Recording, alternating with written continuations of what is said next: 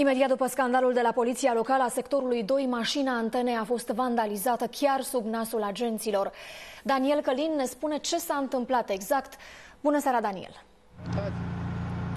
Bună seara! Martor al acestui incident a fost chiar colegul nostru care în acel moment lucra la aparatura din spatele mașinii, aparatura de transmisie în direct. El ne-a povestit cum acest individ a venit de pe o străduță din apropierea sediului poliției locale a sectorului 2. Acesta a venit pregătit cu o găleată de vopsea albă pe care a aruncat-o în fugă pe mașina antenei 3.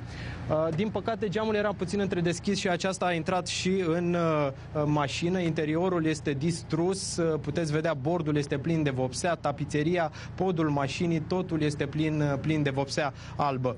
Individul a fugit după ce a aruncat cu vopsea. Am reușit însă să aflăm că era îmbrăcat în negru, cu blugi și geacă neagră, avea în jur de 20 de ani. Au venit la fața locului și polițiștii care au făcut cercetări, au trimis chiar și o divizia canină, însă până în acest moment nu a fost identificat și urmează să facă cercetări în continuare. Daniel, îți mulțumim!